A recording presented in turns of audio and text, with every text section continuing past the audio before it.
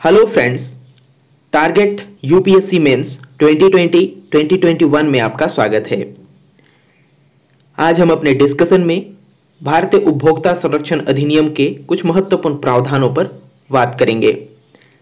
आप जानते हैं 20 जुलाई 2020 को उपभोक्ता संरक्षण अधिनियम 2019 लागू हो गया है। आप हमारे इस डिस्कशन को जीएस पेपर टू के सरकारी नीतियों और विभिन्न क्षेत्रों में विकास के लिए हस्तक्षेप और उनके अभिकल्पन तथा क्रियान्वयन के कारण उत्पन्न विषय से जोड़कर देख सकते हैं। उपभोक्ता संरक्षण अधिनियम 2019 जिसको राष्ट्रपति के द्वारा 2019 अगस्त में ही अनुमति दे दी गई थी। इससे पहले भारत में उपभोक्ताओं के हितों को सुरक्षित करने के लिए उपभोक्ता संरक्षण अधिनियम उन्नीस सौ छियासी बनाया गया था। उसी को प्रतिस्थापित करने के लिए एक नया कानून बनाया जाता है और उसे ही उपभोक्ता संरक्षण अधिनियम कहा गया है। आपको यह भी याद रखना है कि यह किस दिन लागू हुआ था, क्योंकि स्टेट पीसीएस निश्चित है किसी ना किसी स्टेट पीसीएस में जो आने वाले कुछ ही दिनों में शुरू होंगे, उसमें पूछा जा सकता है। इस अधिनियम के अंतर्गत उपभोक्ता की परिभाषा को सबसे पहले बताया गया है। ये प्रीलिम्स में भी स्टेटमेंट के रूप में पूछा जा सकता है। मेंस में यदि कोई प्रश्न आता है तो आपको इस परिभाषा को लिखना है। तो आप याद रखेंगे, उपभोक्ता कौन है? कोई भी व्यक्ति जो किसी वस्तु या फिर सेवा को अपने उपयोग करने के लिए खरीदता है तो उसे उपभोक्ता कहा जाएगा। उसमें, यानी कि उपभोक्ता के अंतर्गत, उन व्यक्तियों को शामिल नहीं किया गया है, जो किसी वस्तु या तो सेवा को खरीदते हैं खरीदने के बाद उसे किसी तीसरे व्यक्ति को बेच देते हैं। इसे आप ध्यान रखेंगे। चाहे वो खरीद या बिक्री, इलेक्ट्रॉनिक तरीकों से किया जाता हो टेली शॉपिंग के माध्यम से किया जाता हो, यानी कि ऑनलाइन या ऑफलाइन किसी भी माध्यम से किया जाता हो, लेकिन उसको उपयोग करने के लिए किया जा रहा हो तो उसे उपभोक्ता कहा जाएगा। तो इसे भी आप ध्यान रखेंगे। इससे जुड़े जो कुछ अधिकार की बात की गई है मतलब जो अधिकार इस अधिनियम के अंतर्गत उपभोक्ताओं को उपलब्ध कराया गया है, वो कौन से अधिकार हैं? फ्रेंड्स अधिनियम के अंतर्गत जो उपभोक्ता हैं, उन लोगों को छह अधिकारों को दिया गया है। आप जानते हैं फंडामेंटल जो हमारे राइट्स हैं, वहाँ पर भी छह ही अधिकार हैं। यहाँ पर भी छह ही अधिकार दिया गया है। आपको याद हो गया? यहाँ पर बताया गया है कि सुरक्षा का अधिकार उपभोक्ताओं को है। सूचना प्राप्त करने का अधिकार उपभोक्ताओं को है। चुनने और निर्णय लेने का अधिकार उपभोक्ताओं का है। यानी कि आप खरीदने के लिए जाएँगे, कोई आपसे ज़बरदस्ती नहीं कर सकता कि आपने सामान देख ली, क्यों नहीं खरीद रहे हो, मेरा सामान खरीद लो, उसको छोड़ दो। नहीं कर सकता। आपके ऊपर डिपेंड करता है कि आप उस सामान को खरीदेंगे या नहीं खरीदेंगे, चुनेंगे या फिर नहीं चुनेंगे। अपनी बात सुनाने का अधिकार। मतलब आप सामान के बारे में जानकारी ले सकते हैं, उसे कुछ चीज़ें बता सकते हैं कि मेरे प्रोडक्ट में क्या क्या शामिल करो। इसमें कौन सी दिक्कत है, मुझे क्यों पसंद नहीं आई, ये बात आपको बताने का पूरा पूरा अधिकार इसके अंतर्गत दिया गया है। शिकायत निवारण का अधिकार। यदि कोई दिक्कत है आपको, चाहे ऑनलाइन माध्यम से खरीदे हो ऑफलाइन माध्यम से खरीदे हो तो आप इसकी शिकायत कर सकते हैं। आपका ये अधिकार है, कानूनी अधिकार है। आप इसे ध्यान रखें। उपभोक्ताओं का शिक्षा, उपभोक्ता शिक्षा का अधिकार। एजुकेट किया जाएगा लोगों को वस्तुओं के बारे में, सेवाओं के बारे में, ताकि आप एक बेहतर उपभोक्ता बन पाए। तो आप छह अधिकार को याद कर लें। यह पूछा जा सकता है प्रिलिम्स में तो आप इसे ध्यान रखें। यदि मेंस में पूछा जाता है तो आप स्टार बनाकर इसे छह अधिकारों को लिख दें। आपको बेहतर मार्क्स मिलेंगे। इसी के अंतर्गत उपभोक्ता संरक्षण प्राधिकरण स्थापित करने की बात की गई है।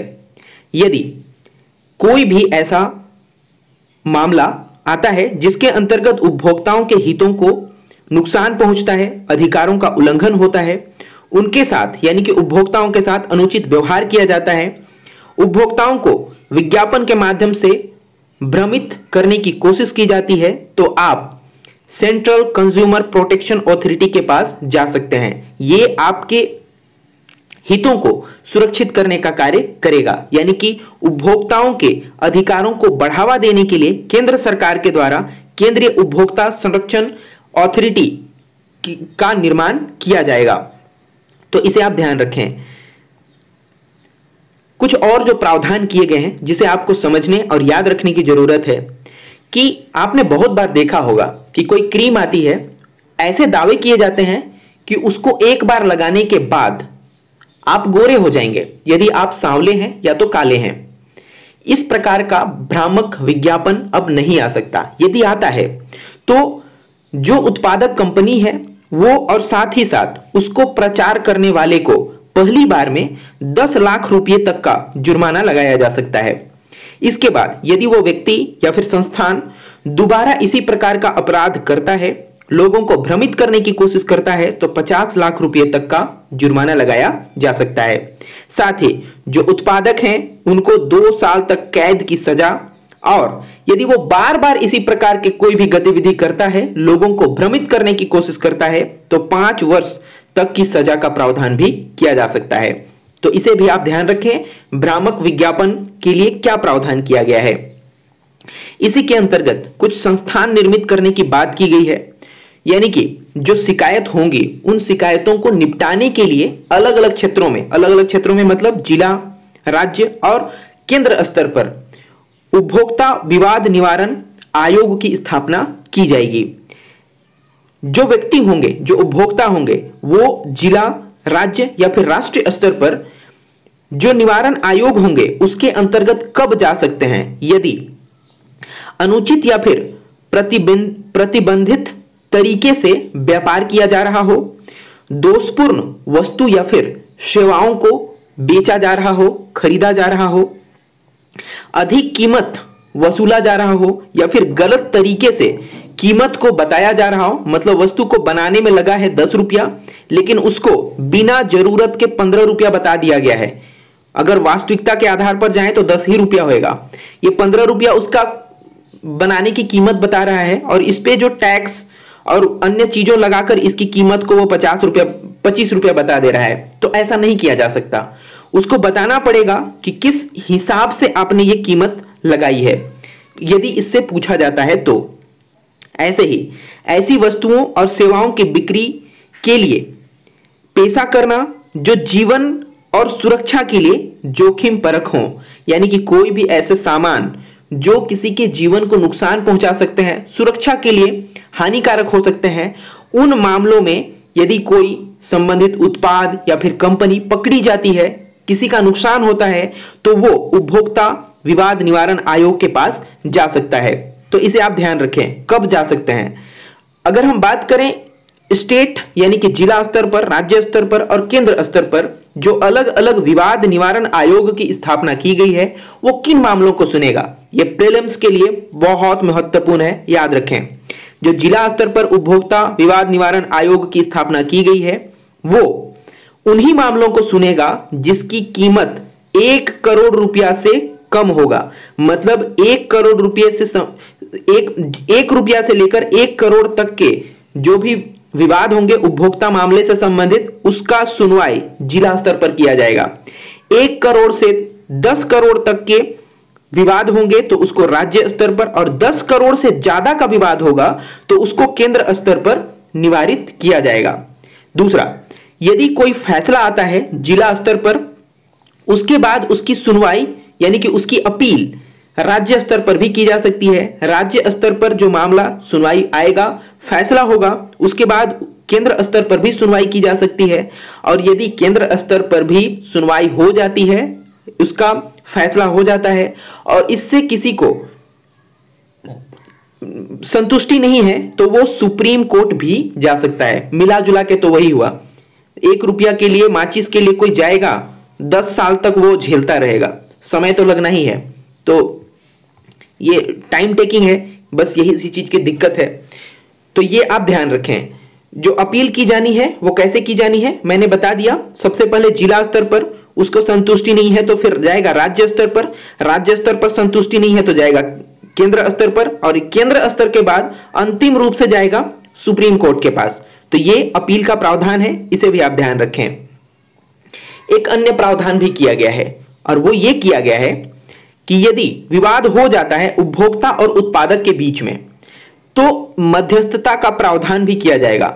मतलब जो नुकसान हुआ है किसी व्यक्ति का, किसी उपभोक्ता का तो उसको कुछ पैसे कंपनसेशन इत्यादि दे दिया जाए और मामला को निपटा दिया जाए। ये एक अच्छा प्रावधान किया गया है क्योंकि इससे जो न्यायालय हैं या फिर जो निवारण तंत्र बनाया गया है जिला स्तर पर, केंद्र स्तर पर, राज्य स्तर पर, वहाँ पर बोझ कम पड़ेगा। तो यह मध्यस्थता का प्रावधान भी किया जा, गया है।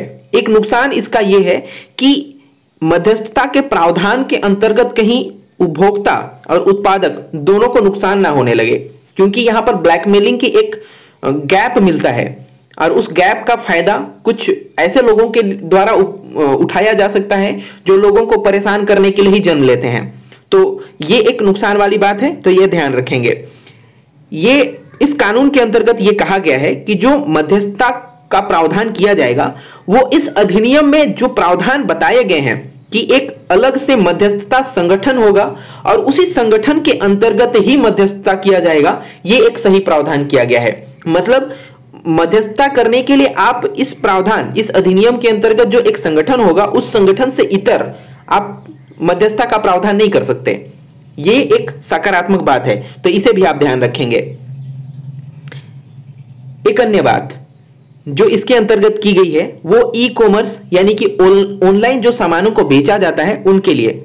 इनके अंतर्गत दो चीज़ों का प्रावधान किया गया है। सबसे पहले, कोई भी व्यक्ति, उपभोक्ता, कोई भी व्यक्ति या फिर कोई भी उपभोक्ता, यदि उत्पाद खरीदता है और खरीदने के बाद वो किसी भी मामले को लेकर शिकायत करता है तो 48 आवर के अंतर्गत मतलब 48 घंटे के अंतर्गत, उसके शिकायत को सुनना होगा, रजिस्टर करना होगा।